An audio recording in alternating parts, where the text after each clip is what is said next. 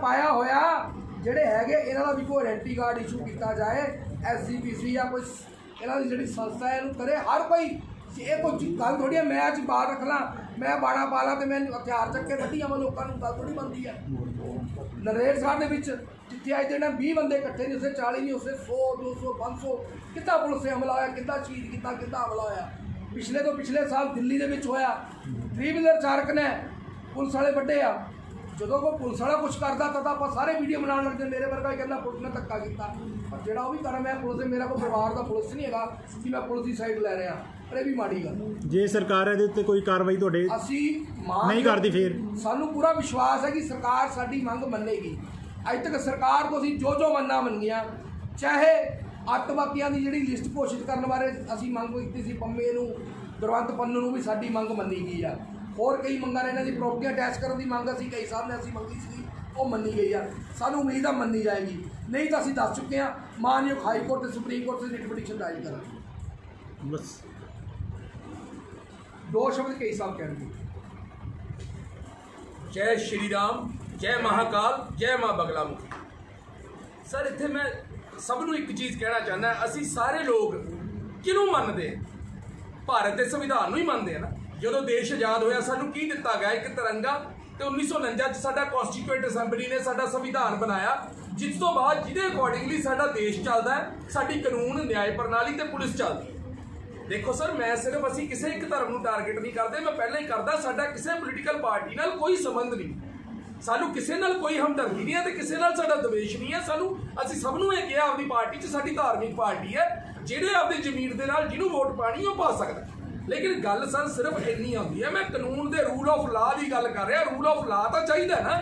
ਮੈਨੂੰ ਤੇ ਤੁਹਾਨੂੰ ਤੁਹਾਨੂੰ ਵੀ ਵੀਰ ਜੀ, ਤੁਸੀਂ ਮੀਡੀਆ ਦੇ ਪਰਸਨ ਹੋ ਰਿਸਪੈਕਟਡ ਹੋ, ਤੁਹਾਨੂੰ ਤੇ ਮੈਨੂੰ ਸੰਵਿਧਾਨ ਨੇ ਇੱਕ ਰਾਈਟ ਦਿੱਤਾ ਹੈ ਇੱਜ਼ਤ ਦੇ ਨਾਲ ਸਿਰ ਚੱਕ ਕੇ ਜਿਉਣ ਦਾ ਤੇ ਆਪਣੇ ਪਰਿਵਾਰ ਨੂੰ ਰੋਜੀ ਰੋਟੀ ਕਮਾ ਕੇ ਪਾਲਣ ਦਾ। ਇਹ ਅਧਿਕਾਰ ਮੈਨੂੰ ਕਿਤੋਂ ਭੀਖ 'ਚ ਨਹੀਂ ਮਿਲਿਆ, ਇਹ ਜੰਮਦੇ ਬੱਚੇ ਨੂੰ ਵੀ ਭਾਰਤ ਦਾ ਸੰਵਿਧਾਨ ਦਿੰਦਾ ਦਿੰਦਾ ਨਾ ਸਰ। ਤੁਸੀਂ ਮੰਨਦੇ ਹੋ ਵੀ ਇਹ ਰਾਈਟ ਸਾਡਾ ਬਣਦਾ ਅਸੀਂ ਕਿਵੇਂ ਸਰ ਖੌਫ 'ਚ ਜੀਏ? ਕਿਉਂ ਸਰ ਖੌਫ 'ਚ ਜੀਏ?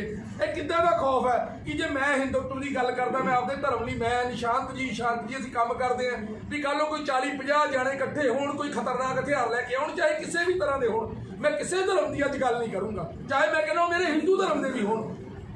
ਅਸੀਂ ਇਸ ਖੌਫ 'ਚ ਜਿੰਦਾ ਨਹੀਂ ਰਹਿ ਸਕਦੇ। ਵੀ 40 50 ਜਾਣੇ ਸਰ ਜਿਹੜਾ ਉੱਥੇ ਕਾਂਡ ਹੋਇਆ ਕਿਸੇ ਵੀ ਸਿਆਸੀ ਪਾਰਟੀ ਦੇ ਆਗੂ ਨਾਲ ਕੀਤਾ ਉੱਥੇ ਪੁਲਿਸ ਵੀ ਮੌਜੂਦ ਸੀ ਉਹਨੂੰ ਬੜੀ ਮੁਸ਼ਕਲ ਪੁਲਿਸ ਨੇ ਬਚਾਇਆ ਉੱਥੋਂ ਨਿਬਰਤ ਨਾਲੇ ਤੁਸੀਂ ਕਹੀ ਜਾਂਦੇ ਹੋ ਜੇ ਨਾ ਕੀਤਾ ਅਸੀਂ ਤਰਸ਼ੂਲ ਵੰਡਾਂਗੇ ਮਤਲਬ ਤੁਸੀਂ ਆਪਸ ਟਾਕਰਾ ਕਰਾ ਰਹੇ ਹੋ ਫਿਰ ਨਹੀਂ ਸਰ ਮੈਂ ਤਾਂ ਮੇਰੀ ਵਰਡ ਮੇਰੇ ਮੂੰਹ ਚੋਂ ਨਹੀਂ ਆਇਆ ਤੁਹਾਡੇ ਨਾਲ ਦੇ ਨਹੀਂ ਕਿ- ਨਹੀਂ, ਹੁਣੀ ਕਿਹਾ।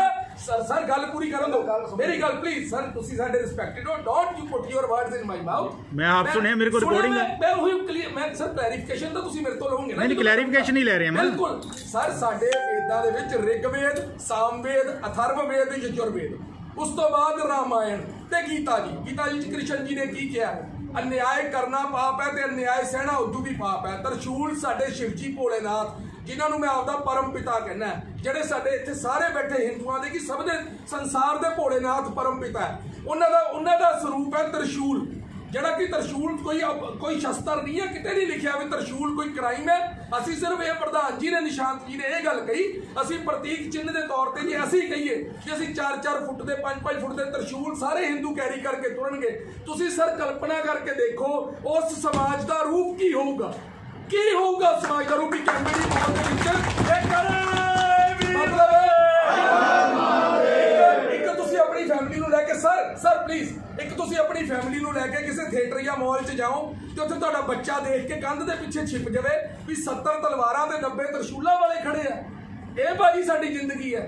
ਇਹ ਪੰਜਾਬ ਸੋਚਿਆ ਸੀ ਸਾਡੇ ਬਜ਼ੁਰਗਾਂ ਨੇ ਸਾਡੇ ਸ਼ਹੀਦਾਂ ਨੇ ਕ੍ਰਾਂਤੀਕਾਰੀਆਂ ਨੇ। ਨਹੀਂ ਸਰ ਮੇਰਾ ਸਿੰਪਲ ਕਹਿਣ ਦਾ ਮਤਲਬ ਹੈ, ਹਿੰਸਾ ਨੂੰ ਮੈਂ ਕਿਸੇ ਵੀ ਰੂਪ 'ਚ ਸਵੀਕਾਰ ਨਹੀਂ ਕਰੂੰਗਾ, ਹਿੰਸਾ ਕਿਸੇ ਵੀ ਰੂਪ ਦੀ ਹੋਵੇ, ਉਹਦੇ ਲਈ ਕਿਸੇ ਦੀ ਆਗਿਆ ਨਹੀਂ। ਅਸੀਂ ਸਭ ਦੇ ਬਾਣੇ ਦਾ ਰਿਸਪੈਕਟ ਕਰਦੇ ਆ ਮੈਂ ਖੁਦ ਸਭ ਤੋਂ ਜ਼ਿਆਦਾ ਦਸਾਂ ਗੁਰੂਆਂ ਨੂੰ ਮੰਨਣ ਵਾਲਾ ਬੱਚਾ ਹਿੰਦੂ ਮੇਰੀ ਮੰਮੀ ਮੈਨੂੰ ਕਹਿੰਦੇ ਹੁੰਦੇ ਸੀ ਵੀ ਤੈਨੂੰ ਮੈਨੂੰ ਬਾਬਾ ਨਾਨਕ ਜੀ ਦੇ ਕੇ ਗਏ ਸੀ।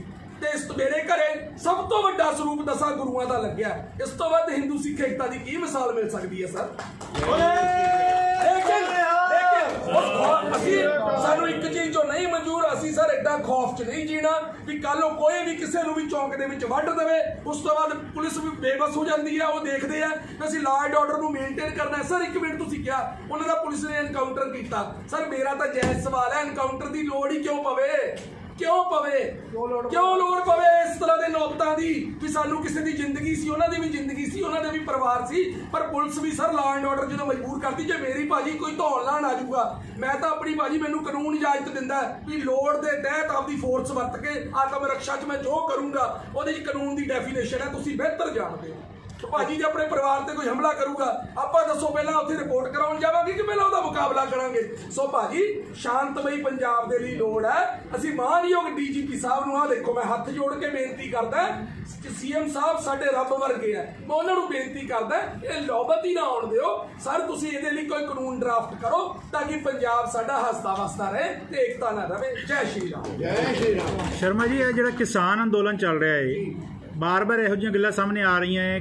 ਗਵਰਨਮੈਂਟ ਵੱਲੋਂ ਕਿ ਕਿਸਾਨ ਅੰਦੋਲਨ 'ਚ ਖਾਲਿਸਤਾਨੀ ਤਾਕਤਾਂ ਆਪਣਾ ਮਤਲਬ ਕਿਸੇ ਨਾ ਕਿਸੇ ਤਰੀਕੇ ਦੇ ਨਾਲ ਘਰ ਕਰਕੇ ਬੈਠੀਆਂ। ਤੁਹਾਨੂੰ ਇਹਦੇ ਵਿੱਚ ਪਿੱਛੇ ਕੀ ਲੱਗਦਾ ਹੈ? ਦੇਖੋ, ਅਸੀਂ ਪਹਿਲੀ ਗੱਲ ਆ, ਪਹਿਲੇ ਦਿਨ ਤੋਂ ਹੀ ਅਸੀਂ ਕਿਸਾਨਾਂ ਦੇ ਨਾਲ ਆ। ਅਸੀਂ ਸਾਡੇ ਸੰਗਠਨ ਨੇ ਕਈ ਜਗ੍ਹਾ 'ਚ ਕੈਂਡਰ ਮਾਰਚ ਵੀ ਕੱਢੇ ਕਿਸਾਨਾਂ ਦੇ ਹੱਕ 'ਚ। ਪਰ ਅਸੀਂ ਉਹਨਾਂ ਕਿਸਾਨਾਂ ਦੇ ਨਾਲ ਨਹੀਂ ਆ, ਜਿਹੜੇ ਪਿੰਡਰਾਂ ਵਾਲੇ ਦੇ ਪੋਸਟਰ ਲਗਾ ਰਹੇ ਆ, ਜਿਹੜੇ ਖਾਲਿਸਤਾਨ ਜਿੰਦਾਬਾਦ ਦੀ ਆਪਣੀ ਸਟੇਜਾਂ ਤੋਂ ਗੱਲਾਂ ਕਰਦੇ ਆ।